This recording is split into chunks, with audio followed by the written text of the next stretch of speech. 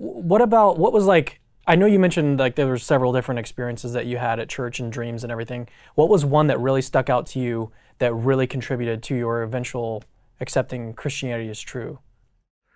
Well, I can, as, I can, t- I can tell you about uh, one of the dreams, which there were two main ones that I believe involved intercession from the Spirit. Were you at this time? Were you like really investigating? Okay. Were you reading scripture a lot? Were no, you praying the, at the all? The first one, the first one, uh, I wasn't even thinking about Christianity or belief. I was an agnostic. I didn't know what was going on. Okay. And I didn't understand the dream at all when I had it. And it was a very frightening dream because I, I don't like heights. and I was hanging from the edge of a cliff, uh, terrified. I didn't know what to do. And I couldn't climb up. I was holding on with my hands. And I screamed out, Help, help. I didn't know who I was calling to. I just said, Help, help. And I heard a voice say, Just let go. And I said, What? What? I fall down. And the voice said, Just let go. So I finally said, Well, okay. So I, I let go. And the moment I let go, the entire landscape turned 90 degrees. And instead of hanging from a cliff, I was lying on the ground. And there was a man whose voice, voice I had heard standing there. That was the man who said, just let go. I woke up and I was like, whoa, what was that? I didn't know what he meant by just let go. I didn't know who it was. And then eventually, of course, um, I found out that, of course, the man was Jesus Christ, and what I had to let go of was all the baggage that was in my life that was preventing me, absolutely blocking me from even considering the idea of a God. And I, eventually I did let go of all of that. Wow. That's crazy.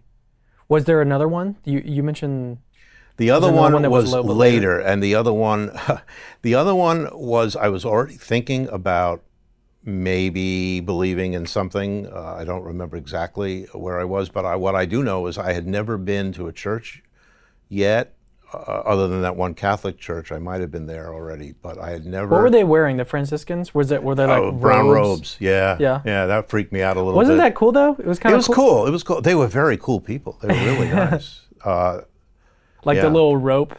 Yeah, little rope. Yeah, I thought that was weird. did they did they like shave their heads? I don't remember that. They, they might did. have. Yeah, I don't remember. Catholics, man, Catholics. Yeah, well.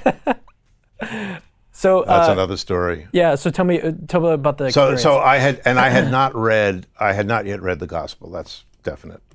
Uh, so I had a dream that I was walking around a garden trying to get in, a walled garden and I couldn't get in. I, I, it was very steep walls, and I was kept trying to climb up, and I, hmm. I found vines and little things, that, but I couldn't get to the top, and I got really frustrated. and I kept going around, and I and then, then I saw a man, and, and he said, "What's the matter with you?" And I said, "I, I want to get in, and I can't climb over." He said, "Well, then use the door. There it is."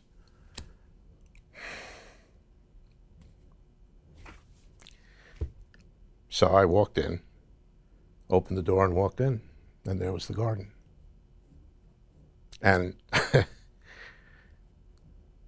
later, when I was in church, I, I, think the first time I went to the church I'm now a member of, there was a picture of Jesus knocking on the door.